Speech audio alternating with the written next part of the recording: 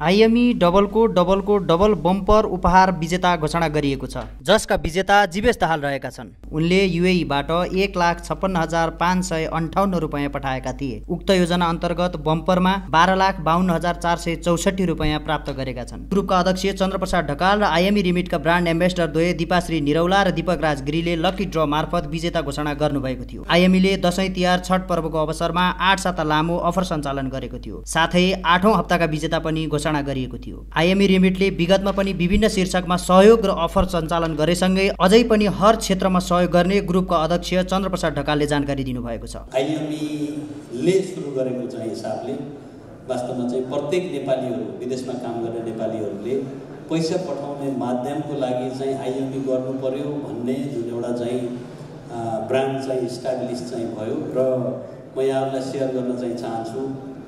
रेमिट्यान्सको चाहिँ लाइसेन्स लिनु पऱ्यो नयाँ लाइसेन्स लिनु पऱ्यो भनेर राष्ट्र ब्याङ्कमा एप्लाई गर्दाखेरि पनि आइएमईको लाइसेन्स लिनु पऱ्यो भन्ने हिसाबको जुन एउटा चाहिँ यो रेमिट्यान्स र आइएमई एउटा पर्यावाची शब्दको रूपमा जुन डेभलप चाहिँ भयो त्यो चाहिँ वास्तवमा आइएमईले सुरुदेखि नै जुन एउटा जुन एउटा भन्नाले सरकारले चाहेको कुरा आम पब्लिकले चाहेको कुरा र एउटा चाहिँ व्यावसायिक हिसाबको रूपमा चाहिँ अगाडि बढाउने हिसाबले जुन चाहिँ काम गर्यो त्यो चाहिँ साँच्चै नै सुरुका दिनहरूमा धेरै नै भन्नाले चाहिँ गाह्रो काम चाहिँ थियो। करिब करिब बिस तिस पर्सेन्ट बिस पच्चिस पर्सेन्ट जस्तो फर्मल च्यानलबाट आउने चाहिँ थियो भने बाँकी सत्तरी अस्सी पर्सेन्ट जति चाहिँ इन्फर्मल च्यानलबाट आउँछ भन्ने वास्तवमा चाहिँ अनुमान थियो त्यति बेला।